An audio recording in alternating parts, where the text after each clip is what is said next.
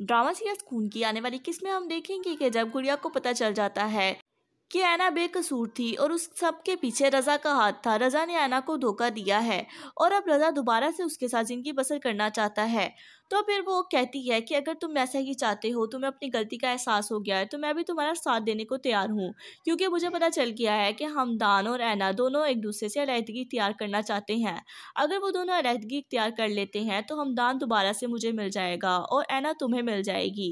वैसे भी तुम्हें अब अपनी गलती का एहसास हो चुका है, लेकिन क्या तुम वाकई सच कह रहे हो कि ऐना और हमदान दोनों वाकई ही में अलहदगी इख्तियार करना चाहते हैं और फिर रज़ा कहता है कि हाँ वो दोनों वाकई अलहदगी इख्तियार करना चाहते हैं। दूसरी जानब आयमा ऐना से कहती है कि क्या तुम वाकई हमदान भाई से अलहदगी इख्तियार करके खुश रह सकोगी?